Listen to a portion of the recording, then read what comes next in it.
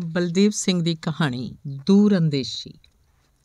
Transport ਮਹਿਕਮੇ 'ਚ ਜਿਹੜਾ ਮਾਲਕ, ਡਰਾਈਵਰ ਜਾਂ ਖਲਾਸੀ ਝੂਠ ਨਹੀਂ ਬੋਲ ਸਕਦਾ, ਹੇਰਾ ਫੇਰੀ ਨਹੀਂ ਕਰ ਸਕਦਾ, ਢੀਠ ਨਹੀਂ ਬਣ ਸਕਦਾ, ਲਾਪਰਵਾਹ ਨਹੀਂ ਹੋ ਸਕਦਾ, ਪੁਲਸੀਆਂ ਜਾਂ ਟ੍ਰੈਫਿਕ ਅਧਿਕਾਰੀਆਂ ਨਾਲ ਲੁਕਣ ਮਿੱਟੀ ਨਹੀਂ ਖੇਡ ਸਕਦਾ, ਉਹ ਇਸ ਧੰਦੇ 'ਚ ਰਾਸ ਨਹੀਂ ਆਉਂਦਾ। ਉਹਦੀ ਹਾਲਤ ਹੀ ਕੋਪਰੇ ਸ਼ਹਿਰ 'ਚ ਗਏ ਸੈਲਾਨੀ ਵਰਗੀ ਹੁੰਦੀ ਹੈ, ਜਿਹੜਾ ਨਾ ਸ਼ਹਿਰ ਦੀਆਂ ਗਲੀਆਂ ਤੋਂ ਵਾਕਿਫ ਹੁੰਦਾ ਤੇ ਨਾ ਘੁੰਮਣ ਵਾਲੀਆਂ ਥਾਵਾਂ ਤੋਂ। ਮੈਂ ਇੱਕ ਟੈਕਸੀ ਡਰਾਈਵਰ ਤੋਂ ਸਫ਼ਰ ਸ਼ੁਰੂ ਕੀਤਾ। ਆਪਣੀ ਮਿਹਨਤ, ਲਗਨ ਤੇ ਕਿਫਾਇਤੀ ਸੁਭਾਅ ਕਾਰਨ ਕੁਝ ਵਰਿਆਂ 'ਚ ਮੇਰੇ ਕੋਲ ਆਪਣੇ ਪੰਜ ਤੇਲ ਟੈਂਕਰ ਸਨ। ਕੋਸ਼ਿਸ਼ ਕੀਤੀਆਂ ਵੀ ਇਸ ਮਹਿਕਮੇ ਦੇ ਉੱਪਰ ਦੱਸੇ ਗੁਣ ਮੇਰੇ ਨਾਲ ਰੁੱਸੇ ਰਹੇ ਤੇ ਮੈਂ ਆਪਣੇ ਭਾਈਚਾਰੇ 'ਚ ਵਿਚਾਰਾਂ ਤੇ ਹੀ ਰਿਹਾ। ਤੇਲ ਟੈਂਕਰਾਂ 'ਚ ਅਸੀਂ ਕੰਪਨੀ ਦਾ ਤੇਲ ਢੋਂਦੇ ਸਾਂ ਤੇ ਕਿਰਾਇਆ ਲੈਂਦੇ ਸਾਂ। ਇਹ ਕਿਰਾਇਆ ਇੰਨਾ ਥੋੜਾ ਹੁੰਦਾ ਸੀ, ਅਸੀਂ ਨਾ ਤਾਂ ਟੈਕਸ ਦੇ ਸਕਦੇ ਸੀ, ਨਾ ਹੀ ਗੱਡੀ ਦੀ ਰਿਪੇਅਰ ਕਰਵਾ ਸਕਦੇ ਸੀ ਤੇ ਨਾ ਹੀ ਪਰਿਵਾਰ ਦਾ ਖਰਚ ਤੋਰ ਸਕਦੇ ਸੀ। ਇਸ ਕਰਕੇ ਮਾਲਕਾਂ ਤੇ ਡਰਾਈਵਰਾਂ ਨੇ ਆਪਣੇ ਖਰਚੇ ਤੋਰਨ ਲਈ ਵਿੰਗੇ ਟੇਢੇ ਰਾਹ ਕੱਢੇ ਹੋਏ ਸਨ। ਡਿਪੂ 'ਚੋਂ ਜਿਹੜਾ ਤੇਲ ਅਸੀਂ ਭਰਦੇ ਸਾਂ, ਉਹਦੇ 'ਚੋਂ ਕੁਝ ਰਸਤੇ 'ਚ ਵੇਚਿਆ ਜਾਂਦਾ ਸੀ, ਕਦੇ ਚਲਾਕੀ ਨਾਲ, ਕਦੇ ਫੈਕਟਰੀ ਵਾਲਿਆਂ ਨਾਲ ਗੰਢ ਸੰਢ ਕਰਕੇ। ਇਸ ਨੇਕ ਕੰਮ ਵਿੱਚ ਡਿਪੂ ਦੇ ਦਰਬਾਨ ਤੋਂ ਲੈ ਕੇ ਫੈਕਟਰੀ ਜਾਂ ਪੈਟਰੋਲ ਪੰਪ ਦੇ ਕਰਮਚਾਰੀਆਂ ਤੱਕ ਸ਼ਾਮਲ ਹੁੰਦੇ ਸਨ। ਪਤਾ ਨਹੀਂ ਕੀ ਕਾਰਨ ਸਨ, ਮੈਂ ਸਦਾ ਵੱਡੀਆਂ ਹੇਰਾ ਫੇਰੀਆਂ ਤੋਂ ਡਰਦਾ ਹੀ ਰਿਹਾ। ਦੂਸਰੇ ਡਰਾਈਵਰ ਪੈਸੇ ਖਰਚ ਕੇ ਅਜਿਹੇ ਥਾਵਾਂ ਦੇ ਆਰਡਰ ਲੈ ਲੈਂਦੇ, ਜਿੱਥੇ 6-7 ਜਾਂ ਇਸ ਤੋਂ ਵੀ ਵੱਧ ਤੇਲ ਦੇ ਡਰਮ ਬਾਹਰ ਹੀ ਵੇਚੇ ਜਾਂਦੇ। ਉਹ ਸ਼ਰਾਬੀ ਹੋਏ ਤੇ ਮੁਰਗੇ ਚੂੰਡਦੇ, ਮੈਨੂੰ ਟਿਚਰਾਂ ਕਰਦੇ, ਤੇਰੇ ਵਾਸਤਾ ਰੋਗ ਨਹੀਂ ਏ। ਪਹਿਲਾਂ ਕਾਂ ਦੇ ਸਿਰ ਜਿੰਨੀ ਫੀਮ ਖਾਣੀ ਪੈਂਦੀ ਹੈ ਫਿਰ ਉੱਤੋਂ ਦੀ ਬੋਤਲ ਸ਼ਰਾਬ, ਤਾਂ ਕਿਤੇ ਜਾ ਕੇ ਅੰਦਰਲਾ ਦਲੇਰੀ ਫੜਦਾ ਜੇ ਤੇਲ ਟੈਂਕਰ ਰੱਖਣੇ ਆ ਤੇ ਸਾਡੇ ਚ ਰਲਣਾ ਪਊ, ਨਹੀਂ ਤਾਂ ਪਿੰਡ ਜਾ ਕੇ ਮਾਸਟਰੀ ਕਰ ਲੈ, ਚੰਗਾ ਰਹੇਗਾ। ਉਹ ਮੇਰੀ ਮਾਸਟਰੀ ਕੀਤੀ ਤੇ ਮੈਨੂੰ ਇਉਂ ਮਿਹਣੇ ਮਾਰਦੇ ਹੁੰਦੇ ਸਨ, ਜਿਵੇਂ ਮੈਂ ਪੰਜਾਬ ਚੋਂ ਮੰਗ ਕੇ ਖਾਂਦਾ ਗਿਆ ਹੋਵਾਂ। ਇਹ ਗੱਲ ਨਹੀਂ ਕਿ ਮੈਂ ਉਹਨਾਂ ਚੋਰਾਂ ਜਾਂ ਠੱਗਾਂ 'ਚ ਸਾਧ ਸੀ, ਮੈਂ ਨਿੱਕਾ ਚੋਰ ਸੀ। ਜੇ ਬਹੁਤੀ ਹਿੰਮਤ ਕਰ ਲਈ ਤਾਂ 100 150 ਲੀਟਰ ਤੇਲ ਕੱਢ ਲਿਆ ਉਹ ਮੈਨੂੰ ਰੇਜ਼ਗਾਰੀ ਇਕੱਠੀ ਕਰਨ ਵਾਲਾ ਆ ਕੇ ਚੜਾਉਂਦੇ ਰਹਿੰਦੇ ਤੇ ਆਪ ਨੋਟ ਇਕੱਠੇ ਕਰਦੇ ਰਹਿੰਦੇ। ਇਹ ਵੱਖਰੀ ਗੱਲ ਹੈ, ਜਦੋਂ ਉਹਨਾਂ ਵਿੱਚੋਂ ਕਿਸੇ ਦੀ ਗੱਡੀ ਕਿਸੇ ਫੈਕਟਰੀ 'ਚ ਫਸ ਜਾਂਦੀ, ਤਾਂ ਮੈਂ ਹੀ ਛੁਡਵਾ ਕੇ ਲਿਆਉਂਦਾ। ਇੱਕ ਵਾਰੀ ਤੇਲ ਡੀਪੂ ਦੇ ਬੰਗਾਲੀ ਅਫਸਰ ਨੇ ਸ਼ਰਾਰਤ ਨਾਲ ਮੈਨੂੰ ਅਜਿਹੀ ਫੈਕਟਰੀ ਦਾ ਲੋਡ ਦੇ ਦਿੱਤਾ, ਜਿੱਥੇ 8-9 ਡਰਮ ਤੇਲ ਦੇ ਵੇਚੇ ਜਾਂਦੇ ਸਨ। ਪਹਿਲਾਂ ਤਾਂ ਦੂਜੇ ਡਰਾਈਵਰ ਮਾਲਕ ਹੈਰਾਨ ਹੋਏ ਤੇ ਫਿਰ ਫਿਕਰਵਾਨ। ਮੇਰੇ ਨਾਲ ਗੁੱਸੇ ਵੀ ਹੋਏ। ਤੂੰ ਕਰਨਾ ਕਰਾਉਣਾ ਤਾਂ ਕੁਛ ਨਹੀਂ, ਸਾਨੂੰ ਵੀ ਭੁੱਖਾ ਮਾਰੇਗਾ। ਮੈਂ ਆਪ ਪਰੇਸ਼ਾਨ ਸੀ। ਤੇਲ 'ਚ ਇੰਨਾ ਕਪੜਾ ਮੇਰੇ ਵੱਸੋਂ ਬਾਹਰੀ ਗੱਲ ਸੀ। ਇੱਕ ਡਰਾਈਵਰ ਨੇ ਮੈਨੂੰ 2000 ਦੀ ਪੇਸ਼ਕਸ਼ ਕੀਤੀ, ਪਰ ਮੇਰੀ ਗੱਡੀ ਖਾਲੀ ਉਹ ਕਰਕੇ ਆਏਗਾ, ਇਹ ਸ਼ਰਤ ਸੀ। ਮੈਂ ਡਰਦਾ ਸੀ ਜੇ ਮੇਰੀ ਗੱਡੀ ਫਸ ਗਈ ਮੇਰੇ ਕੋਲ ਤਾਂ ਉਹਨਾਂ ਵਾਂਗੂ ਅੰਨੀ ਲੁੱਟ ਦੇ ਨੋਟ ਜਮ੍ਹਾਂ ਨਹੀਂ ਸਨ। ਮੇਰਾ ਤਾਂ ਬਾਲਾ ਖਾਂਦਾ ਥੋੜਿਓਂ ਵੀ ਜਾਂਦਾ ਵਾਲਾ ਹਾਲ ਸੀ ਤੇ ਦੂਜਿਆਂ ਨੂੰ ਡਰ ਸੀ। ਜੇ ਮੈਂ ਉੱਥੇ ਪੂਰਾ ਤੇਲ ਦੇ ਆਇਆ ਤਾਂ ਅੱਗੋਂ ਤੋਂ ਉਹਨਾਂ ਦਾ ਰਾਹ ਬੰਦ ਹੋ ਜਾਏਗਾ। ਉਹ ਚਾਹੁੰਦੇ ਸਨ, ਮੈਂ 8 ਡਰਮ ਤੇਲ ਦੇ ਕੱਢ ਕੇ ਜਾਵਾਂ, ਪਰ ਮੇਰੀਆਂ ਲੱਤਾਂ ਤਾਂ ਡਿਪੂ 'ਚ ਹੀ ਕੰਬ ਰਹੀਆਂ ਸਨ, ਉੱਥੇ ਫੈਕਟਰੀ 'ਚ ਜਾ ਕੇ ਕੀ ਹੋਏਗਾ? ਅਖੀਰ ਫੈਸਲਾ ਹੋਇਆ, ਇੱਕ ਘੈਂਟ ਡਰਾਈਵਰ ਮੇਰੇ ਨਾਲ ਜਾਏਗਾ। ਜੇ ਗੱਡੀ ਫਸ ਗਈ ਤਾਂ ਸਾਰਾ ਭਾਈਚਾਰਾ ਜ਼ਿੰਮੇਵਾਰ ਹੋਏਗਾ। ਮਤਲਬ ਉਹ ਰਲ ਕੇ ਆਪੇ ਗੱਡੀ ਛਡਾਉਣਗੇ। ਉਹ ਕਿਸੇ ਕੀਮਤ ਉੱਤੇ ਵੀ ਮੈਨੂੰ ਇਕੱਲੇ ਨੂੰ ਨਹੀਂ ਜਾਣ ਦੇਣਗੇ। ਦੋ ਡਰਮਾਂ ਦੇ ਪੈਸੇ ਡਰਾਈਵਰ ਲਏਗਾ, ਦੋ ਡਰਮਾਂ ਦੇ ਪੈਸਿਆਂ ਨਾਲ ਸ਼ਰਾਬ ਤੇ ਮੁਰਗੇ ਉੱਡਣਗੇ, ਚਾਰ ਡਰਮਾਂ ਦੇ ਪੈਸੇ ਉਹ ਮੈਨੂੰ ਦੇਣਗੇ। ਇੰਨੇ ਚ ਉਸ ਫੈਕਟਰੀ ਦਾ ਇੱਕ ਕਰਮਚਾਰੀ ਤੇਲ ਡਿਪੂ ਚ ਆਇਆ ਤੇ ਉਹਨੇ ਪੁੱਛਿਆ, ਤੇਲ ਕਿਉਂ ਨਹੀਂ ਪਹੁੰਚਿਆ? ਸਾਡੀ ਫੈਕਟਰੀ ਡਰਾਈ ਹੋਣ ਵਾਲੀ ਹੈ। ਤੇਲ ਡਿਪੂ ਵਾਲਿਆਂ ਰਿਕਾਰਡ ਵੇਖ ਕੇ ਦੱਸਿਆ, ਗੱਡੀ ਤਾਂ ਲੋਡ ਹੈ, ਜੇ ਪਹੁੰਚੀ ਕਿਉਂ ਨਹੀਂ?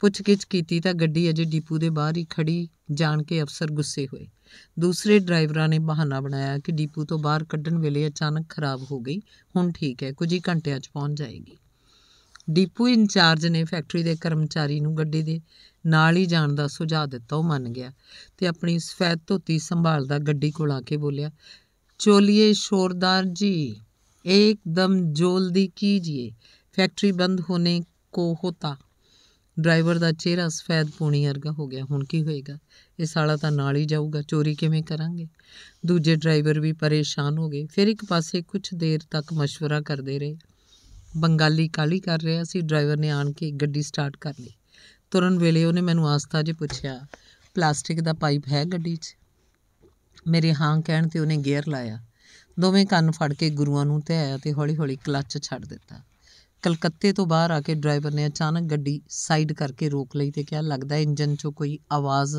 ਜਿਹੀ ਆਉਂਦੀ ਹੈ। ਉਹਨੇ ਗੱਡੀ ਬੰਦ ਕਰਤੀ, ਫੈਕਟਰੀ ਦਾ ਕਰਮਚਾਰੀ ਪਰੇਸ਼ਾਨ ਹੋ ਗਿਆ। ਉਹ ਬਾਬਾ, ਅਬ ਕੀ ਹੋਗਾ? ਮੈਂ ਡਰਾਈਵਰ ਨੂੰ ਦੁਬਾਰਾ ਇੰਜਨ ਸਟਾਰਟ ਕਰਨ ਲਈ ਕਿਹਾ, ਪਰ ਉਹਨੇ ਮੈਨੂੰ ਅੱਖ ਦੱਬੀ ਤੇ ਬੋਲਿਆ, ਮਿਸਤਰੀ ਲਿਆਉਣਾ ਪਏਗਾ। ਬਿਨਾਂ ਮੇਰਾ ਪ੍ਰਤੀਕਰਮ ਜਾਣੇ ਉਹਨੇ ਖਲਾਸੀ ਨੂੰ ਕੁਝ ਗੁਪਤ ਸੰਦੇਸ਼ ਦੇ ਕੇ ਮਿਸਤਰੀ ਲੈਣ ਭੇਜ ਦਿੱਤਾ। ਮੈਂ ਬੰਗਾਲੀ ਬਾਬੂ ਨੂੰ ਲੈ ਕੇ ਲਾਗੇ ਇੱਕ ਹੋਟਲ ਤੇ ਆ ਗਿਆ। ਸਾਡੇ ਮਗਰ ਹੀ ਡਰਾਈਵਰ ਆ ਗਿਆ ਅਤੇ ਆਉਂਦਿਆਂ ਹੀ ਇੱਕ ਮੰਜਾ ਲੈ ਕੇ ਲੇਟ ਗਿਆ। ਮੈਂ ਤੇ ਬੰਗਾਲੀ ਬਾਊ ਤਰਲੋ ਮੱਛੀ ਹੁੰਦੇ ਰਹੇ। ਡੇਢ ਕੁ ਘੰਟੇ ਬਾਅਦ ਖਲਾਸੀ ਮਿਸਤਰੀ ਲੈ ਆਇਆ। ਡਰਾਈਵਰ ਆਰਾਮ ਨਾਲ ਸੁੱਤਾ ਰਿਹਾ। ਮਿਸਤਰੀ ਬਰਨਟ ਚੁੱਕ ਕੇ ਕਾਫੀ ਦੇਰ ਤੱਕ ਕੋਈ ਨਟ ਢਿੱਲਾ ਕਰਦਾ, ਕਦੇ ਕੱਸ ਲੈਂਦਾ। ਉਹਨੇ ਫਿਲਟਰ ਖੋਲ ਕੇ ਚੈੱਕ ਕੀਤੇ। ਮੈਨੂੰ ਉਹਦੀਆਂ ਹਰਕਤਾਂ ਤੋਂ ਜਾਪ ਰਿਹਾ ਸੀ, ਜਿਵੇਂ ਉਹ ਖਾਮਖਾ ਵਕਤ ਖਰਾਬ ਕਰ ਰਿਹਾ। ਦੋ ਤਿੰਨ ਵਾਰ ਉਹਨੇ ਗੱਡੀ ਸਟਾਰਟ ਕਰਵਾਈ। ਕੰਨ ਲਾ ਕੇ ਆਵਾਜ਼ ਚੈੱਕ ਕਰਦਾ ਰਿਹਾ। ਕੁਝ ਵੀ ਉਪਰਾ ਨਹੀਂ ਸੀ ਲੱਗ ਰਿਹਾ। ਜਦੋਂ ਕਾਫੀ ਹਨੇਰਾ ਹੋ ਗਿਆ, ਜੀਟੀ ਰੋਡ ਤੇ ਲੰਘਦੇ ਟਰੱਕਾਂ ਦੀਆਂ ਲਾਈਟਾਂ ਜਗ ਪਈਆਂ ਤਾਂ ਮਿਸਤਰੀ ਨੇ ਐਲਾਨਿਆ। ਹੁਣ ਠੀਕ ਹੈ, ਜੇ ਉਵੇਂ ਲੈ ਜਾਂਦੇ ਤਾਂ ਇੰਜਨ ਦੇ ਬਲੌਕ ਪਾਟ ਜਾਣ ਦਾ ਖਤਰਾ ਸੀ। ਉਹਨੇ ਇਸ ਤਰ੍ਹਾਂ ਜਤਾਇਆ ਜਿਵੇਂ ਵਕਤ ਸਿਰ ਉਹਦਾ ਆਉਣਾ ਬਹੁਤ ਹੀ ਸਾਰਥਕ ਤੇ ਲਾਹੇਵੰਦ ਰਿਹਾ। ਦੁਬਾਰਾ ਤੁਰਨ ਲੱਗੇ ਤਾਂ ਮੈਨੂੰ ਡਰਾਈਵਰ ਦਾ ਮੂਡ ਪੂਰਾ ਖਿੜਿਆ ਹੋਇਆ ਜਾਪਿਆ। ਫੈਕਟਰੀ ਦੇ ਬੰਗਾਲੀ ਬਾਊ ਕਾਰਨ ਸ਼ਾਇਦ ਉਹਦੇ ਮਨਸੂਬੇ ਨਹੀਂ ਸੀ ਪੂਰੇ ਹੋ ਰਹੇ। ਗੱਡੀ ਸਟਾਰਟ ਕਰਕੇ ਉਹਨੇ ਫੇਰ ਬੰਦ ਕਰਤੀ ਤੇ ਖਲਾਸੀ ਨੂੰ ਪਿਛਲੇ ਪਾਸੇ ਲਿਜਾ ਕੇ ਕੁਝ ਸਮਝਾਉਂਦਾ ਰਿਹਾ ਫਿਰ ਆ ਕੇ ਸਟੀਅਰਿੰਗ ਤੇ ਬੈਠਦਿਆਂ ਬੋਲਿਆ ਤੂੰ ਉੱਤੇ ਚੜ ਬਈ ਬਾਊ ਨੂੰ ਠੀਕ ਤਰ੍ਹਾਂ ਬੈਠਣ ਦੇ फिर बंगाली बाबू वाल मुखातिब होया ठीक से आराम से बैठिए बाबू बस अभी बीस मिनट में आपका फैक्ट्री में होगा खलासी ऊपर जान लग गया था बंगाली बाबू ने हमदर्दी दिखाने क्या कुछ नहीं होगा शोरदार जी आप खलासी को काहे ठंडा में भेजता है बाहर सर्दी बहुत है बैठने दो ना भीतर ਪਰ ਖਲਾਸੀ ਅਣਸੁਣੀ ਕਰਕੇ ਚਲਦੀ ਗੱਡੀ 'ਚ ਖਿੜਕੀ ਰਾਹੀਂ ਉੱਪਰ ਕੈਬਿਨ ਦੇ ਕੈਰੀਅਰ 'ਚ ਜਾ ਬੈਠਾ। ਹੁਣ ਪੂਰਾ ਹਨੇਰਾ ਹੋ ਗਿਆ ਸੀ। ਡਰਾਈਵਰ ਦਾ ਮੂਡ ਕੁਝ ਕੁਝ ਠੀਕ ਹੋ ਰਿਹਾ ਸੀ। ਉਹਨੇ ਕੈਬਿਨ ਵਿਚਲੀ ਟੇਪ ਰਿਕਾਰਡ ਆਨ ਕੀਤੀ। ਸੁਰਿੰਦਰ ਚੰਦਾ ਪੂਰੇ ਜਲੌ 'ਚ ਬੜਕਾ ਮਾਰਨ ਲੱਗਾ। ਕੋਈ ਅੱਧੇ ਘੰਟੇ ਬਾਅਦ ਕੈਬਿਨ ਦੇ ਕੈਰੀਅਰ 'ਚ ਬੈਠੇ ਖਲਾਸੀ ਨੇ ਉੱਪਰ ਹੱਥ ਦਾ ਖੜਾ ਕੀਤਾ ਤਾਂ ਡਰਾਈਵਰ ਦੇ ਚਿਹਰੇ ਤੇ ਹੋਰ ਰੌਣਕ ਆ ਗਈ। ਉਹਨੇ ਕਿਹਾ, ਸ਼ਾਇਦ ਉੱਪਰ ਠੰਡ ਵੱਧ ਗਈ, ਆਪਾਂ ਉਹਨੂੰ ਅੰਦਰ ਬਿਠਾ ਲਈਏ। ਬੰਗਾਲੀ ਬਾਊ ਤਾਂ ਪਹਿਲਾਂ ਵੀ ਨਹੀਂ ਸੀ ਚਾਹੁੰਦਾ। ਹਾਂ, ਠੀਕ ਆਚੇ ਆਖ ਕੇ ਉਹ ਸਾਡੇ ਨਾਲੋਂ ਵੀ ਜ਼ਿਆਦਾ ਸੁੰਗੜ ਗਿਆ ਤੇ ਖਲਾਸੀ ਖਿੜਕੀ ਰਾਹੀਂ ਅੰਦਰ ਆ ਗਿਆ। ਡਰਾਈਵਰ ਨੇ ਅੱਖ ਦੇ ਇਸ਼ਾਰੇ ਨਾਲ ਕੋਡ ਵਰਡ ਰਾਹੀਂ ਪੁੱਛਿਆ, ਠੀਕ ਠਾਕ ਹੈ? ਖਲਾਸੀ ਨੇ ਸਭ ਅੱਛਾ ਦਾ ਸੰਦੇਸ਼ ਦਿੱਤਾ ਤਾਂ ਮੈਨੂੰ ਕੁਝ ਸ਼ੱਕ ਹੋਇਆ।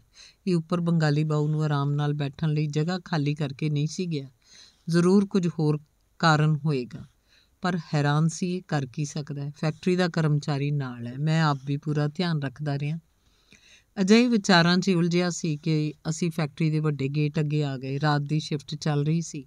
ਬੰਗਾਲੀ ਬਾਊ ਨਾਲ ਹੋਣ ਕਰਕੇ ਸਾਨੂੰ ਝਾਟੀ ਐਂਟਰੀ ਮਿਲ ਗਈ ਤੇ ਗੱਡੀ ਡਿਲੀਵਰੀ ਪੁਆਇੰਟ ਤੇ ਲਗਾਤੀ ਗੱਡੀ ਖਾਲੀ ਹੋਣ ਤੋਂ ਬਾਅਦ ਉਹਨਾਂ ਆਪਣੀ ਸਟੋਰੇਜ ਟੈਂਕੀ ਨਾਪੀ ਤਾਂ ਤੇਲ 900 ਲੀਟਰ ਘੱਟ ਨਿਕਲਿਆ। ਕਰਮਚਾਰੀ ਹੈਰਾਨ, ਮੈਂ ਹੈਰਾਨ, ਨਾਲ ਆਇਆ ਬੰਗਾਲੀ ਹੈਰਾਨ। ਇਹ ਕਿਵੇਂ ਹੋ ਸਕਦਾ ਤੇਲ ਡਿਪੂ ਦੇ ਬਾਹਰ ਖੜੀ ਗੱਡੀ 'ਚੋਂ ਬੈਠ ਕੇ ਆਇਆ ਸਾਰਾ ਸਮਾਂ ਨਾਲ ਰਿਹਾ। ਤੇਲ ਕਿਵੇਂ ਘੱਟ ਹੋ ਸਕਦਾ ਜ਼ਰੂਰ ਫੈਕਟਰੀ ਵਾਲਿਆਂ ਨੂੰ ਹੀ ਆਪਣੀ ਟੈਂਕੀ ਨਾਪਣ 'ਚ ਉਕਤਾਈ ਹੋ ਗਈ ਹੋਏਗੀ। ਫੈਕਟਰੀ ਦਾ ਕਰਮਚਾਰੀ ਬੇਹੱਦ ਇਮਾਨਦਾਰ ਸੀ। ਉਸ ਉੱਪਰ ਅਧਿਕਾਰੀਆਂ ਨੂੰ ਸ਼ੱਕ ਨਹੀਂ ਸੀ ਹੋ ਸਕਦਾ ਕਿ ਡਰਾਈਵਰ ਨਾਲ ਹਿੱਸਾ ਪੱਤੀ ਕਰਕੇ ਤੇਲ 'ਚ ਗੜਬੜ ਕੀਤੀ ਹੋਏਗੀ। ਇਸ ਉਧੇੜ ਮੁੰਚੀ ਉਹਨਾਂ ਚਲਾਨ ਸਹੀ ਕਰਕੇ ਦੇ ਦਿੱਤਾ ਤੇ ਲਿਖ ਦਿੱਤਾ, ਪੂਰਾ ਤੇਲ ਮਿਲ ਗਿਆ ਚਲਾਨ ਲੈਂਦਿਆਂ ਡਰਾਈਵਰ ਦੇ ਚਿਹਰੇ ਤੇ ਆਈ ਖਚਰੀ ਮੁਸਕਾਨ ਮੈਂ ਤਾੜ ਗਿਆ। ਉੱਥੋਂ ਆ ਕੇ ਬਾਹਰ ਅਸੀਂ ਇੱਕ ਢਾਬੇ ਤੇ ਰੁਕ ਗਏ। ਬਾਅਦ 'ਚ ਸ਼ਰਾਬੀ ਹੋਏ ਡਰਾਈਵਰ ਨੂੰ ਮੈਂ ਪੁੱਛਿਆ, ਤੇਲ ਕਿਵੇਂ ਘਟ ਗਿਆ? ਪਹਿਲਾਂ ਤਾਂ ਉਹ ਹੱਸਿਆ, ਫਿਰ ਬੋਲਿਆ, ਸਾਰਾ ਜਾਂਦਾ ਵੇਖ ਕੇ ਅੱਧਾ ਦੇਗੀ ਵੰਡ। ਮੈਂ ਉਹਦੀ ਗੱਲ ਨਾ ਸਮਝਿਆ ਤਾਂ ਉਹਨੇ ਲਾਪਰਵਾਹੀ ਨਾਲ ਕਿਹਾ, ਸੜਕ ਤੇ ਡੋਲਤਾ। ਸੜਕ ਤੇ? ਕਦੋਂ? ਕਿੱਥੇ? ਮੈਂ ਹੈਰਾਨ ਹੋਇਆ। ਉਹ ਫਿਰ ਮੇਰੀ ਅਕਲ ਤੇ ਹੱਸਿਆ। ਜਦੋਂ ਖਲਾਸੀ ਉੱਪਰ ਕੈਬਿਨ ਦੇ ਕੈਰੀਅਰ 'ਚ ਚੜਾਇਆ ਸੀ, ਉਹਨੇ ਇੱਕ ਚੈਂਬਰ ਦਾ ਢੱਕਣ ਖੋਲ ਕੇ ਪਲਾਸਟਿਕ ਪਾਈਪ ਨਾਲ ਸੜਕ ਤੇ ਛੱਡਤਾ। ਥੋੜਾ ਹਿਸਾਬ ਤੋਂ ਜ਼ਿਆਦਾ ਡੁੱਲ ਗਿਆ ਹੋਊ, ਨਹੀਂ ਤਾਂ 6-7 ਡਰਮਾਂ ਦਾ ਤਾਂ ਉਹਨਾਂ ਨੂੰ ਪਤਾ ਹੀ ਨਹੀਂ ਲੱਗਦਾ। ਸੜਕ ਤੇ ਡੋਲਣ ਨਾਲੋਂ ਤਾਂ ਫੈਕਟਰੀ 'ਚ ਦੇ ਆਉਂਦੇ, ਨਾ ਆਪਣੇ ਕੰਮ ਆਇਆ, ਨਾ ਉਹਨਾਂ ਦੇ। ਮੈਨੂੰ ਦੁੱਖ ਹੋ ਰਿਹਾ ਸੀ। ਵਾਹ ਓਏ ਤੇਰੇ। ਉਹਨਾਂ ਨੂੰ ਪੂਰਾ ਤੇਲ ਦੇ ਕੇ ਪਾਰਟੀ ਖਰਾਬ ਕਰਨੀ ਸੀ। ਅਸੀਂ ਤਾਂ ਉੱਥੇ ਫੇਰ ਵੀ ਜਾਣਾ ਇਹਨਾਂ ਅਨਪੜ੍ਹ ਡਰਾਈਵਰਾਂ ਦੀ ਦੂਰ ਅੰਦੇਸ਼ੀ ਅਤੇ ਦਲੇਰੀ ਵੇਖ ਕੇ ਮੈਂ ਹੈਰਾਨ ਹੋ ਰਿਹਾ ਸਾਂ। ਉਦੋਂ ਉਹ ਬੇਪਰਵਾਹ ਹੋਇਆ, ਹੋਟਲ ਦੇ ਨੌਕਰ ਨੂੰ ਮੁਰਗੇ ਦੀ ਪਲੇਟ ਲਿਆਉਣ ਬਾਰੇ ਆਖ ਰਿਹਾ ਸੀ। ਧੰਨਵਾਦ।